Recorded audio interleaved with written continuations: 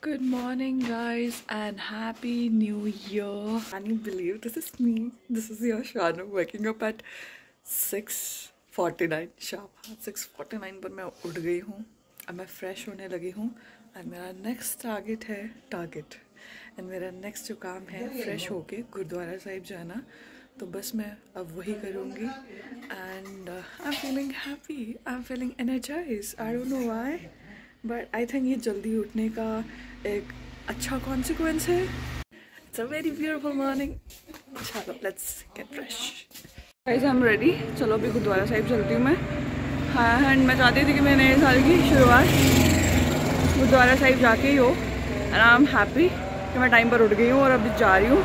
मम्मा के साथ जा रही हूँ। एंड हेयर इज़ माई माते। माते के साथ जाऊँगी मैं। ठंड बहुत भाई। सुबह सुबह उठ के पता चलता ठंड कितनी है। जिस समय मैं उठ रही थी was not time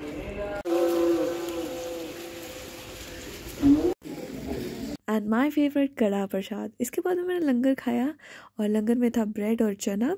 तो बस वो खा के फिर हम आगे घर वापस। रास्ते में मैं सोच रही थी कि आपको तालाब बता देती हूँ। मेरे गाँव का बहुत ही पुराना सा तालाब है ये।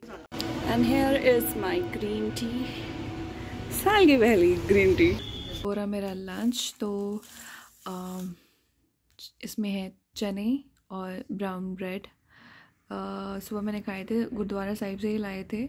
अब लंच करके मैं करने वाली हूँ शूट या फिर मैं करूँगी एडिटिंग और फिर थोड़ा सा मुझे स्ट्रेचिंग या फिर योगा वगैरह मेडिटेशन वगैरह करनी ही है फॉर श्योर क्योंकि मैंने टू डू लिस्ट बना रखी है। मैं लंच कर रही हूँ और साथ में ओ एम जी ब्लॉग देख रही हूँ। मुझे ओ एम जी ब्लॉग्स बहुत ज़्यादा पसंद है। एक्सपायर नहीं ना मैं पहले चल रहा है। दो दिन हो गए। दो दिन एक्स्ट्रा हो गए। तो गाइस ये आखिरी वीडियो होगी इसकी। अब देख लो इसको हँसते। क्या पता इसके बाद ये रहे या नहीं रहे। चलो मैं खुद से यही प्रार्थना करूँगा कि ब्रेड है। जो कि दो दिन पुराना यानी कि दो दिन पहले की एक्सपायर हो चुकी है। Welcome to another day guys आज है सेकेंड जनवरी और आज मैं थोड़ी सी शॉपिंग करने जा रही हूँ। कल है हमारे घर पे बेसिकली प्रभात फेरी। जिसको नहीं पता है, वो सर्दियों में निकलती है शहीदी दिवस के बाद में, या शहीदी दिवस के ड्यूरिंग ही निकलती है प्रभात फेरी। सुबह सुबह तो बहुत अच्छा लगता है लाइक भजन कीर्तन वगैरह होता है। तो कल हमारे घर पे है और हमारे घर पे आई हुई है बहुत सियाँ क्योंकि पकोड़े बनने हैं तो दादू यहाँ पर काटने लगे हुए हैं, वो हेल्प करा रहे हैं। दादू दादी तो जब मैं माता भी उनकी हेल्प कराती हूँ काटने वगैरह में तो हाँ दादी बोल रही है साथ में चार भी डालना है चार भी डालने की वो भी प्रोसीजर मैं आपको बताऊँगी। अब मैं जा रही हूँ पहले माँ। दादी बोल रही है मूलिया भी बता। ठीक है भाई दादी की डिमांड आई है। तो अभी बता तो यहाँ पर आई है बहुत सारी मूलियाँ मतलब रेडिश बहन तू भूल गई कैरेट होती है रेडिश होती है। तो रेडिश है यहाँ पर बहुत ही अच्छी सी स्ट्रेट फ्रॉम फार्म गाइस और मैं कपड़े चेंज कर लेती हूँ। हाँ मामा दो मिनट रुको। बड़े इतने मैस धुए पड़े हैं ना ये वाली डाल देती हूँ। आप देख लो मेरे सभी बोलते हैं ना मेरी अलमीरा ये हालत है मेरी अलमीरा। ये कपड़े तो ऐसे हैं कि मतलब ये तो टच भी नहीं करती हूँ। मैंने परसों ही जीन्स निकाली थी। बस अभी ये जीन्स डालती हूँ बाकी यही मैंने अपर डाला हुआ इसको मैं कर लूँगी पूरा गर्म करके डाले हुए तो अब मैं इसको डालती हूँ। मैं हो गई हूँ रेडी और मैं एक ये लेके जा रही हूँ। तो वहाँ पर एक बाज़ार में देखती हूँ वो हर टाइम हर टाइम मुझे बुलाते हैं मतलब कि तो मैं सोच रही थी ठंड बड़ी है तो उनको कंबल दे देंगे। चलो जी बहुत ज़्यादा ठंड। फिर पापा ने मुझे मम्मा को ना मार्केट में ड्रॉप कर दिया और फिर मुझे कुछ सामान लेना था। तो बस वही शॉपिंग चल रही है। झाड़ू पकड़ा दी हुआ है मैं झाड़ू मारने लगी हूँ। ये दादी ने मुझे आते पकड़ा दी बारी मार ले तू। झाड़ू मारी क्योंकि यहाँ पर गोभी वगैरह पूरी बिखर गई हुई है। तो इसको मैं पहले साफ़ कर दूँ। चार वाले बहुत कम कराते मेरे को। गाइस बहुत कम कराया जाता है बहुत ज़्यादा कम। बहुत सारा टोकरियाँ कारपेट पीछे सिलेंडर भी रखा हुआ है और बाकी जो सामान लाया था, बाज़ार से वो भी रखा हुआ है। तो अब दूसरे घर जाती हूँ। वहाँ पर पूरे लॉबी में हॉल में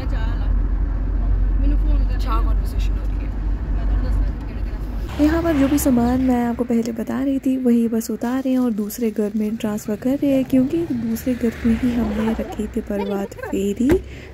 बहुत काम चल रहा है अभी तो।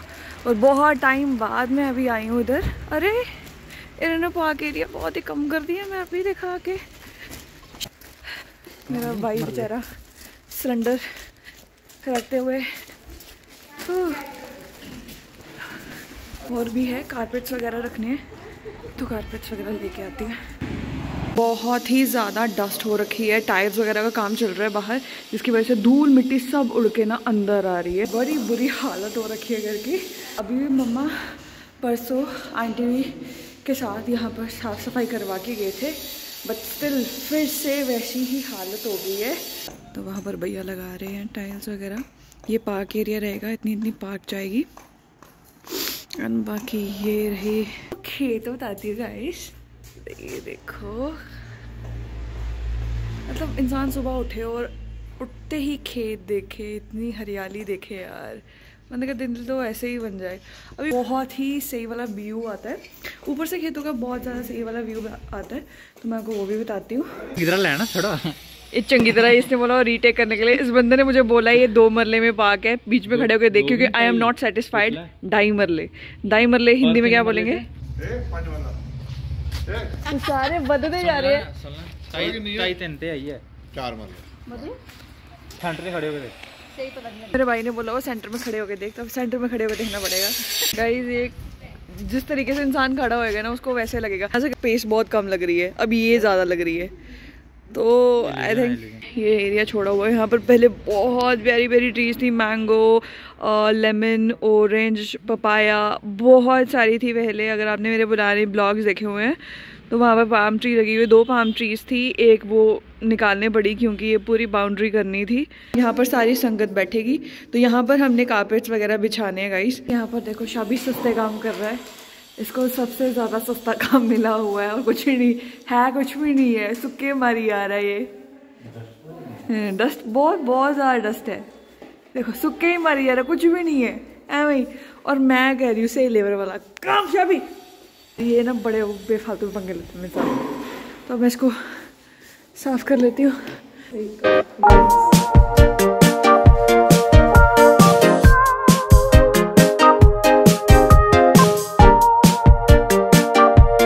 हमारे घर पे ना हैंडपम्प भी है, जिसे हम लेमन लैंग्वेज में यहाँ पर नलका बोलते हैं। तो बचपन में मुझे बहुत मज़ा आता था। ये तो था, जैसे मैंने आपको पहले बताया। तो वहाँ पर बीचों बीच ये नलका लगा हुआ था। तो मुझे बिल्कुल अभी याद है, बचपन में हम यहाँ पर आते थे, सब कज़न हम पता क्या करते थे? इसके मुँह को बंद करके हैंड पंप के आगे से पानी को देखना ये ये पंखे में बचपन में बहुत ज़्यादा करती गाइस वो वहाँ पर पापा ने अपने छोटे मजदूर को लगाया हुआ है। इसको मैं घर पे जाके बताऊँगी। तो मिट्टी पता नहीं क्या कर रहे हैं कुछ कर रहे हैं। तो बेचारा हमारा छोटा मजदूर कर रहा है वो। बड़ा मजदूर अंदर का काम कर रहा है छोटा मजदूर बाहर का काम कर रहा है। पापा के फ्री के मजदूर। बाल मजदूरी की सीमा टूटते हुए। कारपेट्स वगैरह यहाँ पर हम बिछाने लगे हुए हैं। काम बहुत ज़्यादा किया, वीडियो में जितना बताया गया बताया गया। मेरे हाथ बहुत ही ज़्यादा ड्राई हो गए और ब्लैक ब्लैक हो गए। अब बोलोगे लड़की पहले दिन काम कर रही है कंप्लेन कर रही है। इट्स ओके चलो, होता है।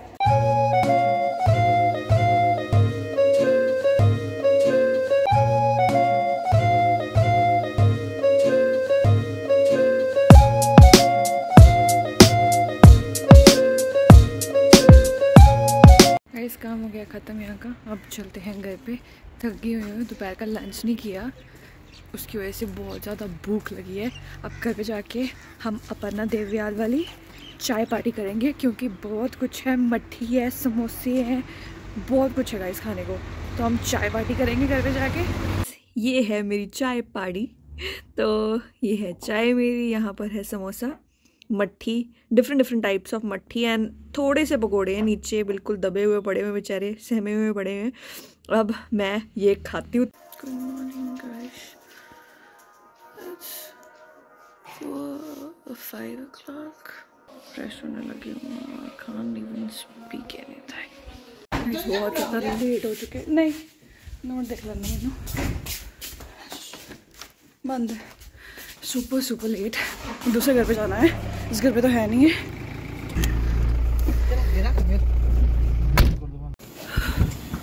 हाँ जी। गाइस ये जो दृश्य आप देख रहे हो यहाँ पर पकोड़े बन रहे हैं गर्मा गर्म विद चाय। और संगत आ गई है तो कर खड़े हुए हैं दोनों। पर पहुँच गई है संगत। यहाँ पर दिख नहीं रही होगी। वहाँ पर संगत पहुँच गई हुई तो चलो let's welcome them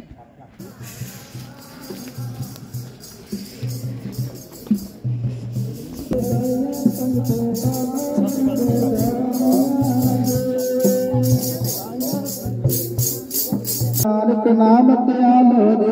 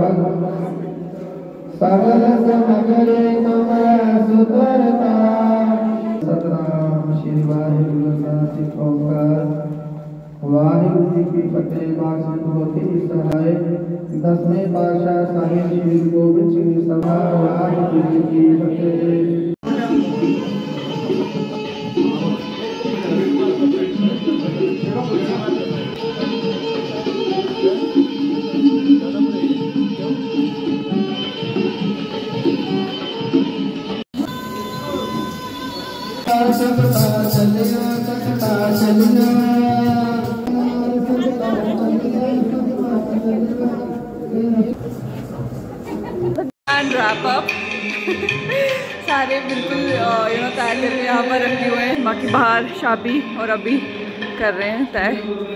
back home मेरी शक्ल बताने के लायक तो नहीं है बट क्या कर सकते हैं? सुबह नहाई नहीं है।